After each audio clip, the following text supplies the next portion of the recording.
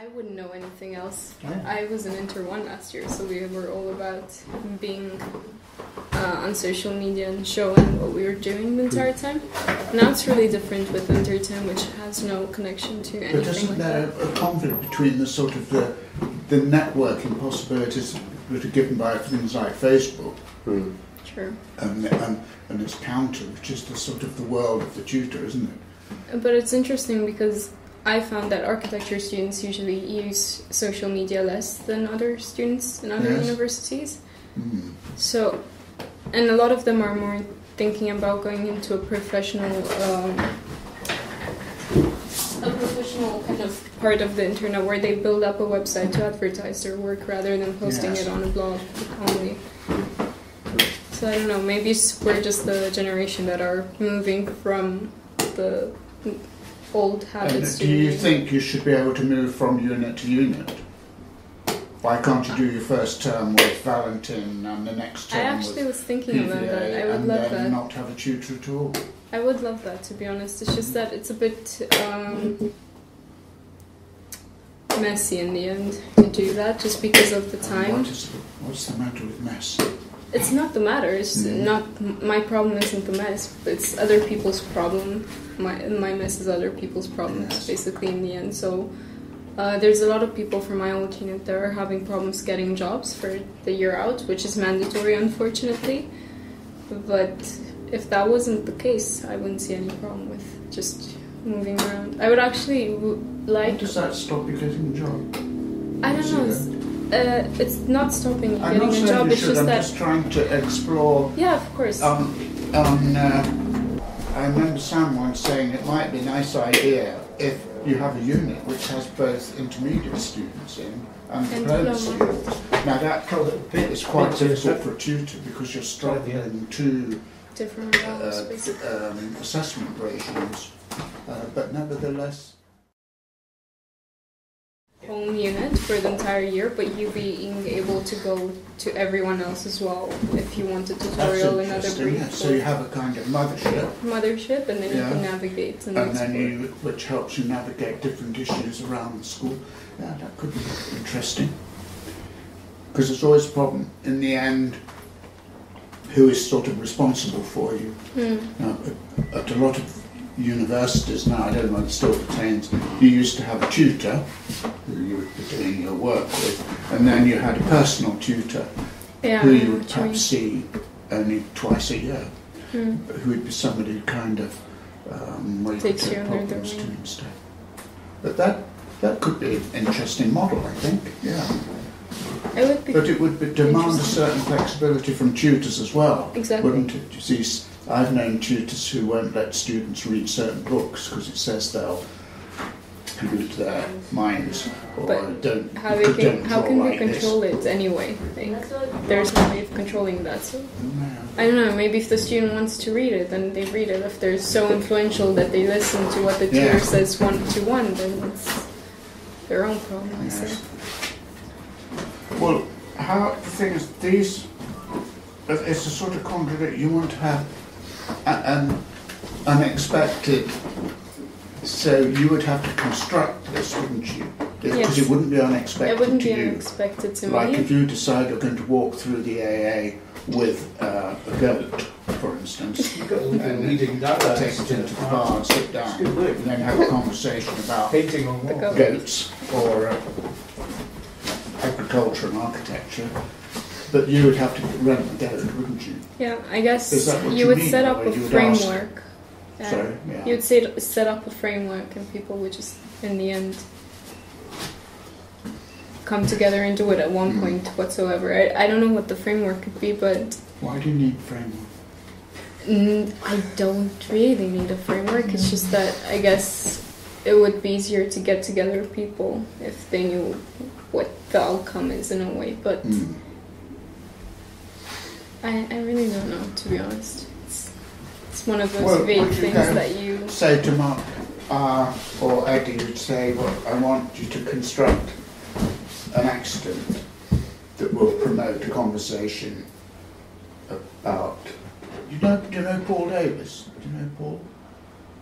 He used to teach around here. Mm. he wrote a, a book about Arctic called Fame.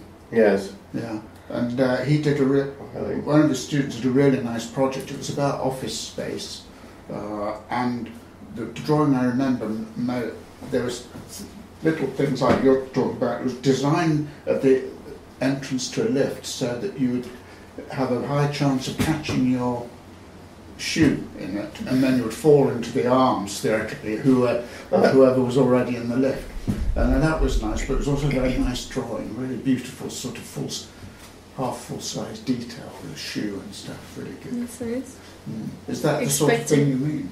or not? Yes, but expecting that people are in the lift is a bit risky. But No, it they might be an not interesting Well, yes, outcome. yeah, yeah, that's the not be- idea. Yes, that if you bring the goat in the bar, People might ask shit you, everywhere. Mm. Co- Cause havoc. Someone, someone made a film years ago. I think she's a French artist, and she found out that in the south of France there'd been a lot of um, road accidents, people killed, da, da, da, from dangerous driving, da, da, da. And she found out that instead of doing a poster campaign, they decided to stage a car crash um, in this village. No, no, just stage a really bad car crash with actors and stuff. But she found out beforehand, so she said, "Can I film it?" so she set up all these cameras and filmed this car crash, which you don't usually do. So she had cameras everywhere, and then she made this piece of work about this accidental, this accident, which wasn't an accident. Quite an interesting film, very odd. And also um, Bruce McLean, who well, it used to be when everybody used to do lectures with these carousel Mm. slides, you know, they, they always used to jam all the time, and then the technology wouldn't work. And he set up a lecture for everything to go wrong. So he'd set things to jam and the lights to go out and everything. And he said it's the only lecture he ever did where everything went right. and everybody thought it was a really good lecture. It's a great genre of film, slapstick comedy, where the accidents in, in the space of a film and a script are so beautifully choreographed that they cascade one accident after the other after Yeah. other. And you, you just, I just adore those things. And the fact that they're written and still feel compelling as create, created accidents is uh, such a, it's just a joy. Everyone's tried to kind of recreate the AA stairwell, like even the new Bartlett has this exaggerated Yes. stair element where accidents are supposed to happen and people are meant to find each other or bump into each other. But again, it's a kind of, when you design it, when you force it, it Yeah. It doesn't really work. Yeah, or, or it, has a kind of slapstick problem. You know, how do you how do you devise an accident like the cameras for the Yeah. There is a there is a comedian. It's a French guy, silent sort of comic thing, and he's always doing something. He keeps getting his he keeps getting his thumbs caught in the buttonholes of his jacket as he's trying to do stuff or whatever. And, and it's these things that happen that you, you wouldn't think happen. But I've noticed now and again when I'm walking around the house, this bit will catch in the door handle or something. And you think, how, how did that happen or something? Or you'll get something stuck in your buttonhole. You think, hey, you, you couldn't plan that. But it happens, and the, the actual chances of those coordinates happening are so slim. Uh, of course, this guy has a whole act about these things happening, and it must be really well worked out. Is it an American thing, or, or did, when I say Rube Goldberg uh, image, do you know, it's it, these amazing, like a cartoon of accident after accident. This hits that, that hits that, Oh, spiral, spiral, spiral, egg Yeah. falls here. This this kind of Mm. Dada meets cartoon, but those, yeah, those moments of how could it happen? Of the zillion Yeah. possibilities of the cuff in the designer handle while you're trying to get the alarm. It's all there. And that's a bit like the fish. Is it Fischli Weiss? Did the, uh, the the way of things or the run of things? Was it? Yeah. That, have you ever seen that? I, they must have it in the library. In the They filmed this con- consecutive accident thing of a, a candle will burn through a piece of string and then that falls down and then it hits a brick and then a tire goes. But it goes on for something like 70 minutes. Have you seen it, David? No. I've seen Oh, it you in love it. Athens, Yeah. But Yeah, that's it. It's Fischli and Weiss that did it. But they did it in the same studio all the time so they could do a sort of minute long version and then just keep it running the whole time. They just kept editing it together. But do you think somehow they can be designed to actually in, interfere with the AA's some of its sort of routines in order that one sees them a bit more clearly. I think it could, to be honest, because nothing really So they go beyond just being, oh, that was interesting. They actually set up or become a critique of something or try to. It doesn't necessarily have to become a critique, but it could break up your schedule a bit more, you know what I mean? Hmm. In the sense that it doesn't have to say that it's bad to be in a routine. If you like it, then it's good for you. Or if you don't, then you have that moment of escape, like uh, meet up.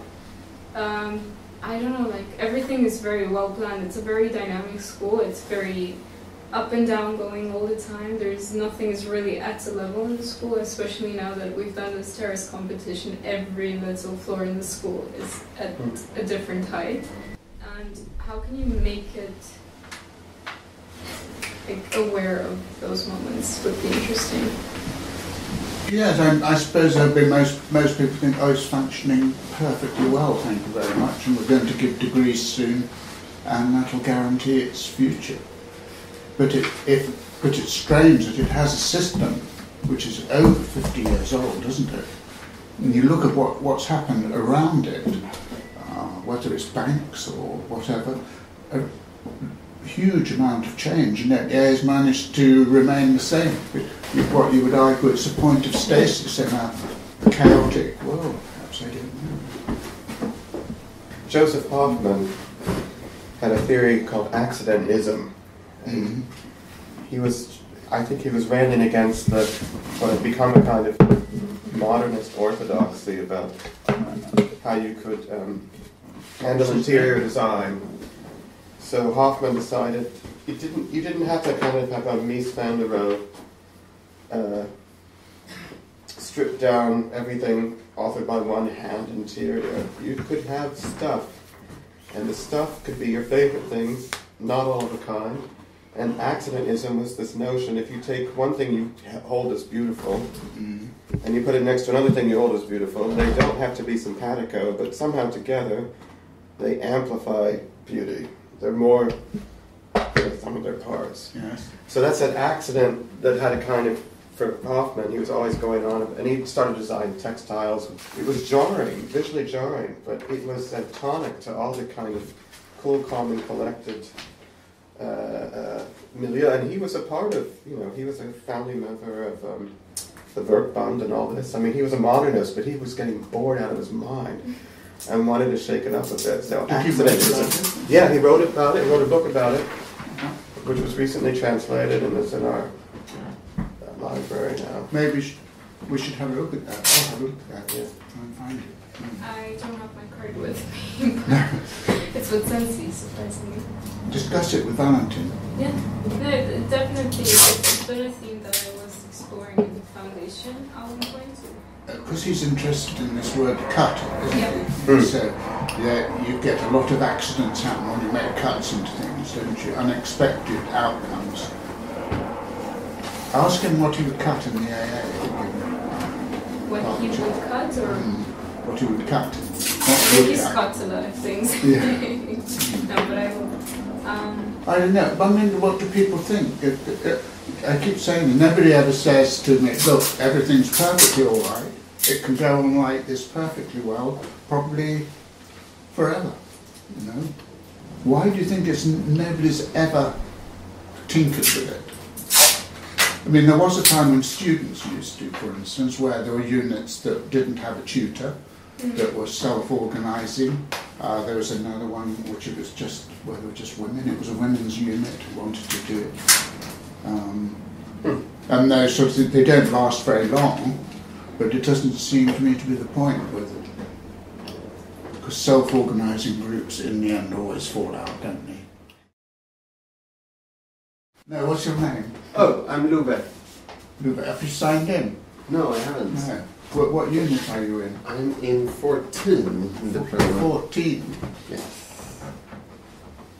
Who's, who's that? It's uh, the Italians, Pier Vittorio and Maria. Oh, really? Oh, oh. I guess on the point of the self-organizing units, it's just that once you join the AA, you're getting thrown into this system that's already established itself that you don't really start. Yes, I mean, it was, of course, it wasn't there where there weren't so many units, there weren't so many students. And also, the, the is quite a, an extraordinary place. Mm. It's quite open to begin with. Mm. Well, therefore, it's interesting that it is asking these questions. Do you think they're worth asking, or do you think just I'm just a sort of grumpy old man, sort of? Uh, I don't mind. we what- have we have to ask them here Yeah. because they have been shut down elsewhere. yeah. I also think I, I was think we have a duty at the AA to, to ask them. You see, the, the conversation it wouldn't happen at Oxford Brookes, it wouldn't even happen down the road. It's it's scary. where at the Bartlett. Yeah. I, I don't know. I think I was looking at John Summerson's little history of the AA, and he's Mm. talking about the founding of it. There's lots of mythic stories, but the one thing I didn't know is there's this argument in the newspaper. Students writing in saying, "I'm not getting anything out of my article pupillage. It's a very meager education in an architect's office. Mm. I've gone down to Somerset House and tried to get something out of the kind of, you know, um, pro- program of lectures on art, on classicism. That's not doing it for me either. Mm. If you can't, if the state can't sort out a school, maybe the students can on their own, and maybe we'll just band together and do it. Yes. And the editors had held back on publishing these things, and then decided, what the hell, let them do it, and then immediately put it out there enough that other people started to come in. That's a kind of social media of the newspaper and the editors' letters to the editor. But I thought that's still going strong, or that still should go strong. Mm. That sense, if, if we're not happy about something, I think the phrase was the student said, if we just put our shoulder to the wheel, we can- Yeah. we'll do it. Did someone someone mentioned that in the the meeting? Maybe it was Ed Well, Bottoms. that's a good fluff now. I know. No, uh, in, in the in He did. in the descriptions last week, uh, last week about our student our students even aware of a legacy that they leave, or is it just their time, two years or four years or whatever? That they're in the space or something like that, you know. So um, I, I think it's that's a lot to do with it about a legacy that you leave. That you're actually concerned about what happens after Yeah. you're there. If you're only ever interested in when you're there and what you get out of it, it's going to be very different. And it attracts different types of students, I think. To say I've been through something not pleasant, I want to affect change, not that it'll help my situation, but help the next person. To take that time, hmm. it's something you see going on quite often around here. Right. And that's, I mean, I think that goes back to David's point. But, but you have to keep reminding people that's what you do. And, and it's, it's only through accidents and, by extension, problems, not all happy things, that, that you, you keep that, that process ticking on. I don't know if that's called evolution or whatever, it doesn't matter. But they're sporadic, but there are these pinch points. I think Ed talked about these pinch points of the AA's history, and if we're at another pinch point or not, Yes. Yeah. that was his kind of open question at the end of his talk. Do you know about Lawn? Not too much. Did you see the poster, or did you, were you just passing? Um, I saw the poster, but I also saw um, I also saw um, uh, your initial presentation on the opening day. Oh, did you? For, yeah, but this is a very short introduction, so But Yeah, I'm because. David wasn't there that day, was he? No, He was. In, well, Oh, he yeah, was, in, true. in cardboard. in in spirit. What? That's fourteen. We've got somebody else from.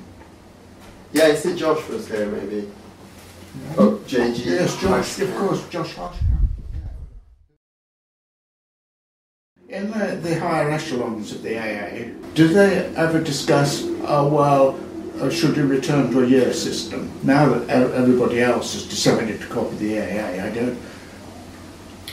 Are the virtues and disadvantages of the year system ever discussed? You know? Mark Cousins brings it up Yes.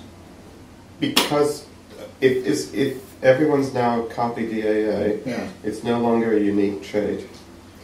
Therefore, the pendulum swings. Mm. This is the no- notion of beard peak or peak beard. If everyone has a beard on the street, Yes. the trend will become clean shaven and will now be in fashion. So, Yes. it, so yeah, there's that notion of it's not one above the other, but if it's all the same, But why are all units roughly the same size? That is a relatively modern innovation. You see, PVA has a massive uptake, doesn't he? Yeah.